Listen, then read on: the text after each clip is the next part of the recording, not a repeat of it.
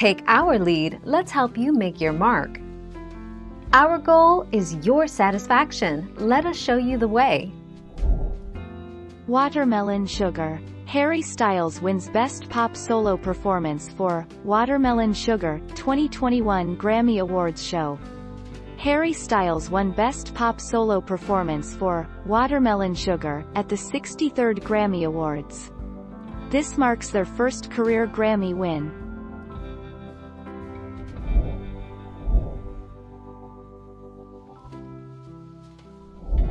Make your mark, take our lead. Grammys 2021.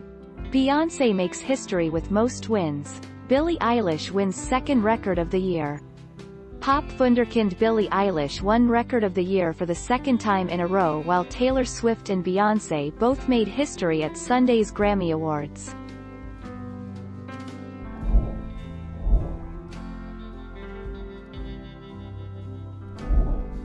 Take our lead.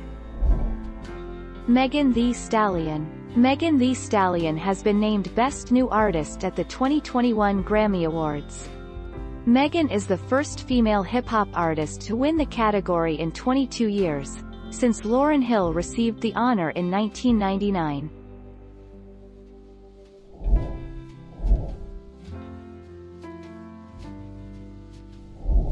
Make your mark, take our lead.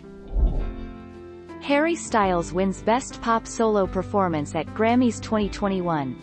I feel very honored, Harry Styles has won Best Pop Solo Performance at the 63rd Annual Grammy Awards.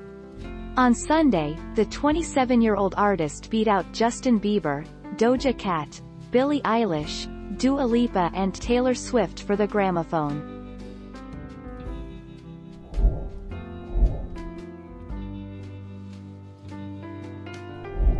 Let's help you make your mark.